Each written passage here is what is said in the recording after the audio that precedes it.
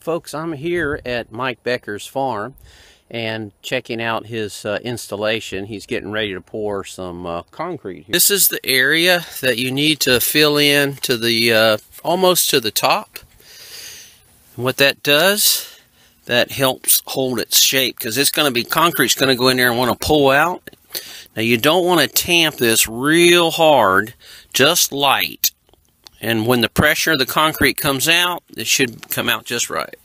One of the areas, we took the dirt away from it just a little bit because it was pushed in a little bit too much. Now once the concrete goes in there, it will push back out and we'll put the dirt back. When you tamp this area around the edges, you don't want to go bang, bang, bang real hard. You just want to go like this. Just a light touch. Very light.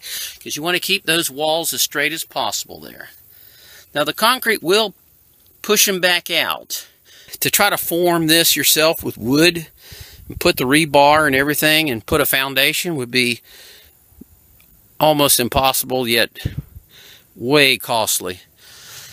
But by the use of plastics, we're able to rotomold this product and put that rebar right in it. Okay folks, this cattle guard here is pretty much ready to pour. You can see they add a little dirt around the edges, lightly tamped it. Any place where the foam was broken, you simply just put a little bit of dirt in there because all that's going to get taken out anyway after the pour.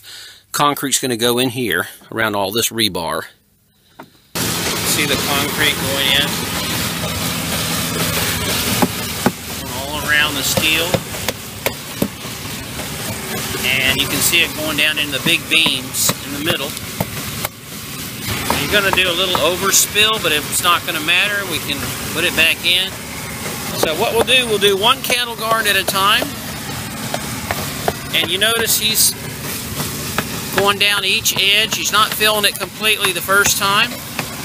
That way it's distributed all over.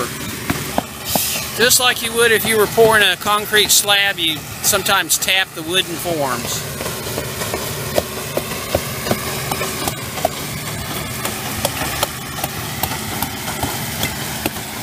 These are the actual beams that the uh, tractor will go over and the foam will be thrown away after the concrete sets up a little bit.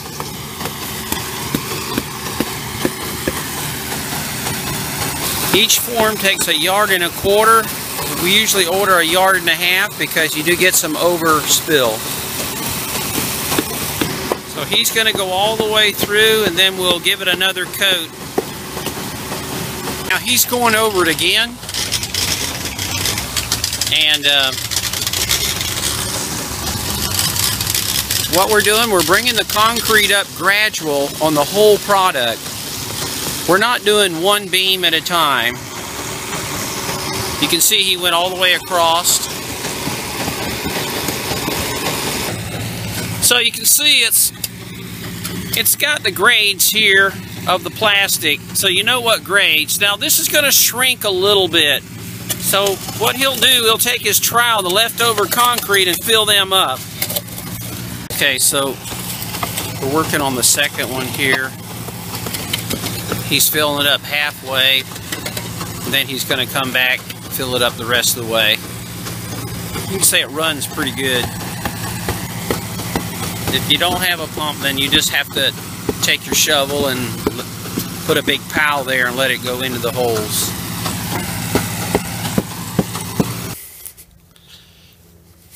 Let's walk and look at the uh, insides.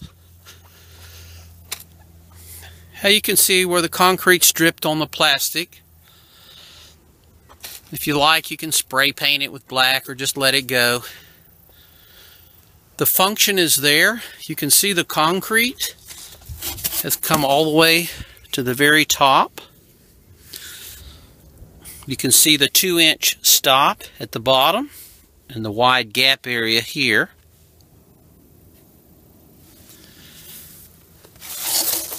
And you can see where the foam tabs were very useful during the concrete pour. so the concrete wouldn't go down into the gap areas. So you have the beams, the gap areas, and you just simply take these out after a pour, throw them away.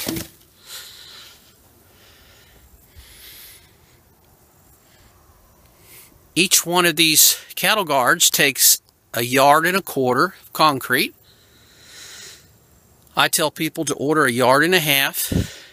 This is two cattle guards, 16 foot, so you would need three yards of concrete.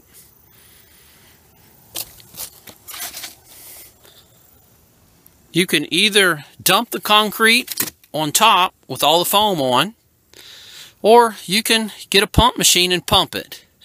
If you put the concrete on top, you just simply pull it into the holes. That's it, folks. This is an HS20.